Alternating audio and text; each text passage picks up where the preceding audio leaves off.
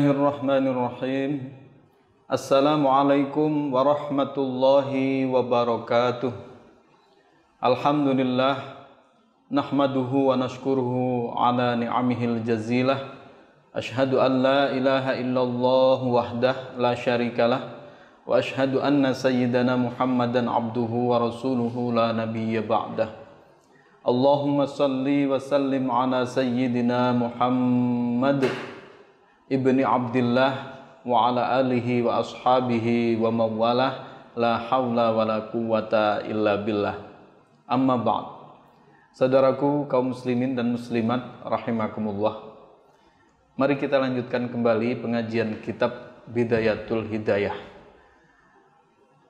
Di beberapa waktu yang lalu kita telah membahas dan memulai pembahasan tentang bagaimana cara masuk atau adab masuk ke kamar mandi ya dan bagaimana caranya keluar berikut doa-doa yang sudah dipaparkan oleh Hujjatul Islam Abu Hamid Al-Ghazali. Kemudian kini kita akan lanjutkan sampai pada bagaimana cara kita kalau kita sedang ada di tempat terbuka seperti lapangan misalnya atau di hutan. Nah, ini di padang ya. Ini bagaimana pada saat di padang, di hutan, di pegunungan, kemudian kita e, ingin kodil hajat, ingin BAB atau BAK. Nah, ini kita perlu merujuk ya kepada tuntunan ulama. Wa ing kunta lamuno ono sapa sira iku fis sahra'i ing dalem ora-ora. Fab'ud mongko ngedo sapa sira an uyunin nadirina saking pandangane wong-wong kang iso delok. Wastatir lan gawe tutup sapa sira bisyai'in kelawan swiji-wiji in wajatta lamun nemu sapa sira hu ing syai. Wala taksyif lan aja buka sapa sira aurataka ing aurat sira qoblal intihai ing dalam sadurunge sampai ila maudhi'il julusi tumeka maring panggonane lungguh. Wala tastakbil lan ojo mengadep ojo ngadep ya. Sapa sira? Asyamsa ing arahe srengenge walal qamara lan ojo madhep ing arahe bulan wala tastakbil lan ojo madhep sapa sira al kiblata ing kiblat wala tastadbirha lan ojo mungkuri sapa sira ha ing kiblat jika engkau berada di tanah lapang bisa apa saja ya jadi fis itu bisa di hutan, bisa di pokoknya suatu tempat yang terbuka. Yang di sana tidak ada bangunan, tidak ada tutup-tutup dan lain sebagainya. Maka ada beberapa saran yang disampaikan oleh Imam Ghazali di kitab ini. Pertama adalah fab'ud an uyunin nadirin. Maka jauhilah pandangan manusia yang bisa melihatmu. Begitu jauhilah pandangan manusia. Jadi agar kita itu menjauh dari eh, orang-orang eh, yang ada di sekitar situ. Entah orangnya yang kita minta untuk pergi dari kita, itu menjauhlah sana. Aku mau buang air kecil dulu. Atau sebaliknya kita yang menjauh dari mereka. Nah itu begitu. Nah menjauhnya itu berapa? Nah cara menjauh itu kalau menurut Imam Nawawi itu ya jangan sampai kalau kita uh, buang angin itu mereka dengar itu jadi jarak antara kalau kita menjauh itu jangan sampai kalau kita buang angin itu mereka bisa dengar atau jangan sampai mereka orang-orang di sekitar kita itu mencium bau dari angin yang kita buang itu nah itu jaraknya seperti itu atau kalau kita BAB misalnya Nah, jangan sampai bau BAB kita itu ya atau e, buang air kecil kita juga itu sampai kecium di orang-orang yang ada di sekitar itu. Nah, itu berarti cukup jauh berarti kan? Ya. Nanti ada ada pertimbangan juga bagaimana kalau angin itu berhembus e, ke arah orang-orang yang kita jauhi misalnya. Nah, itu juga perlu dipertimbangkan. Itu sampai segitunya. ya adab. Jadi yang pertama jauhilah pandangan eh, orang-orang yang ada di sekitar kita. Itu yang pertama. Kemudian yang kedua adalah tutupilah dirimu gitu wastatir bisyai'in in tahu. Tutupilah dirimu dengan sesuatu jika engkau menemukannya. Itu. Jadi carilah kalau bisa itu carilah sesuatu yang bisa menutup tubuh kita dari pandangan orang. Itu. Atau eh, dari sesuatu ya, dari sesuatu yang memungkinkan bisa menatap kita. Jadi kita harus tetap uh, membuat pendamping untuk tubuh kita pada saat kita ada di tanah lapang itu.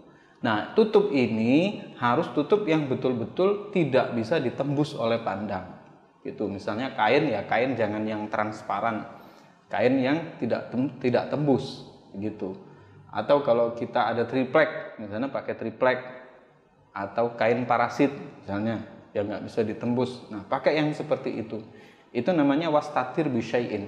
Jadi uh, atau misalnya kita pohon, kita bisa membuat pepohonan uh, apa namanya duplikat gitu ya yang bisa menutup tubuh kita dari pandangan kemungkinan pandangan orang.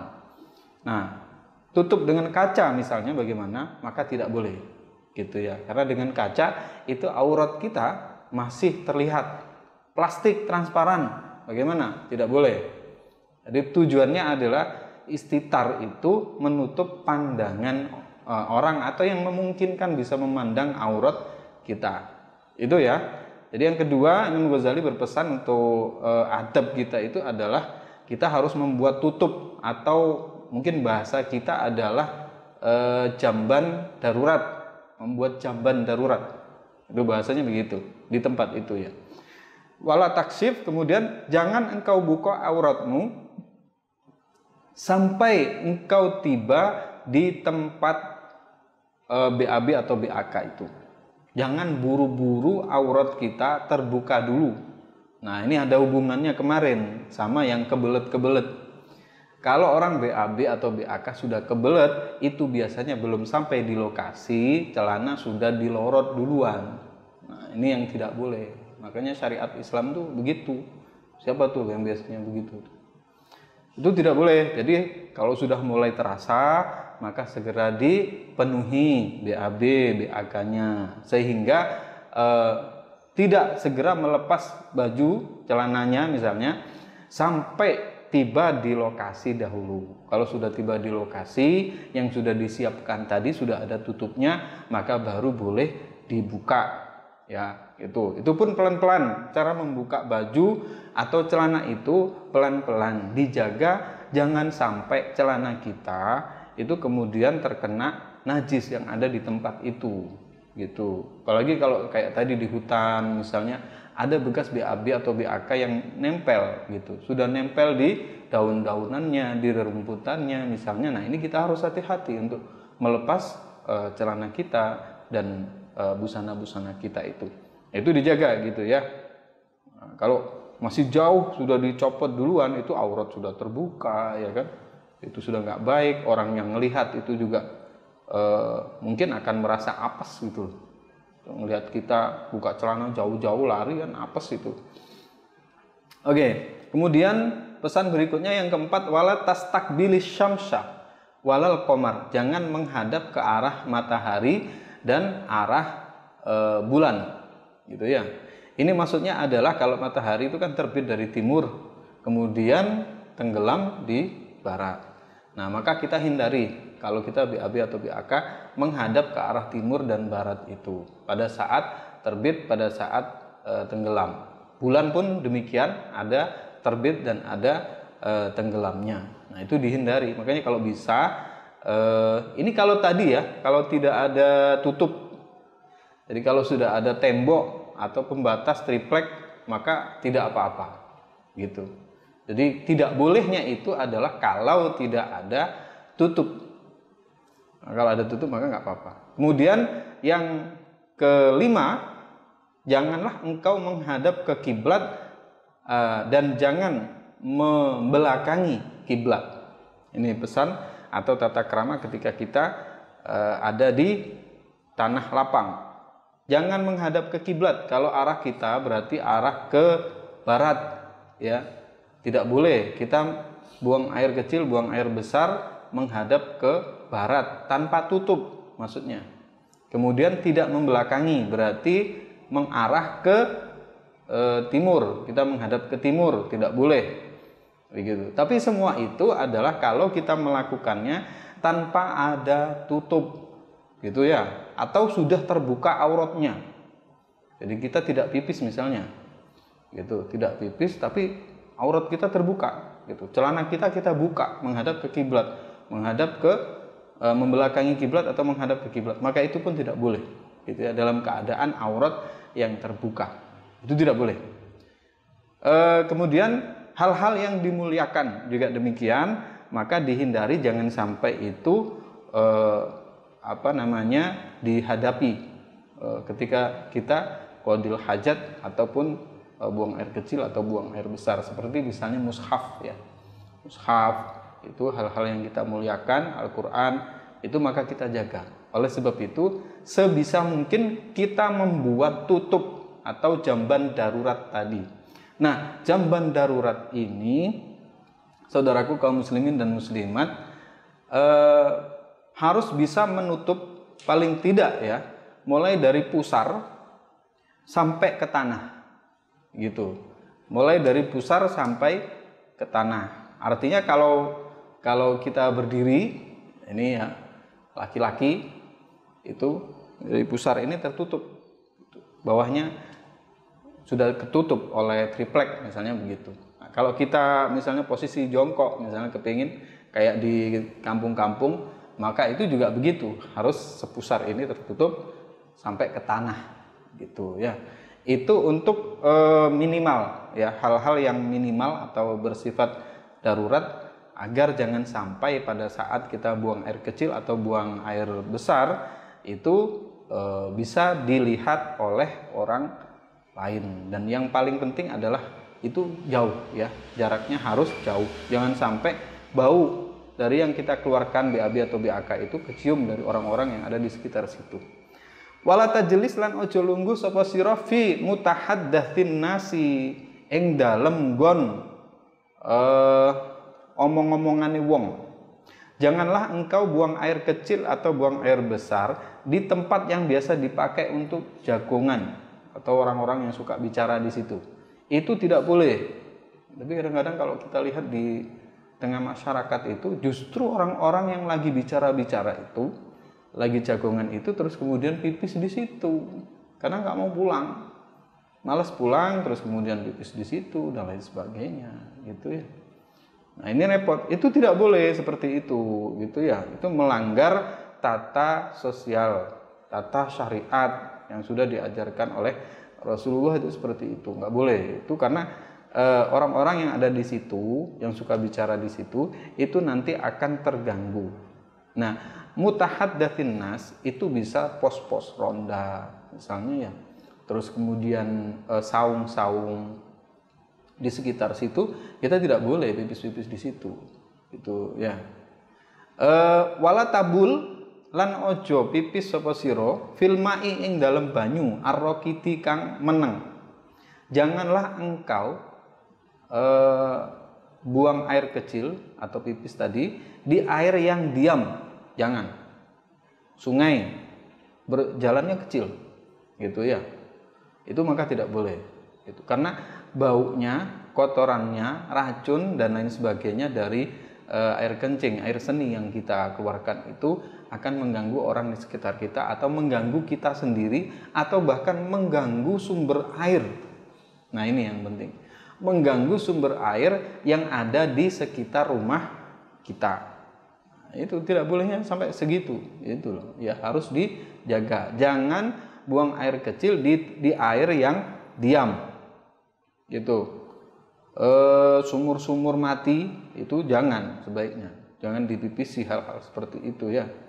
Ya, selain kemarin ada tempat-tempat favorit bagi setan, itu jangan sampai salah itu.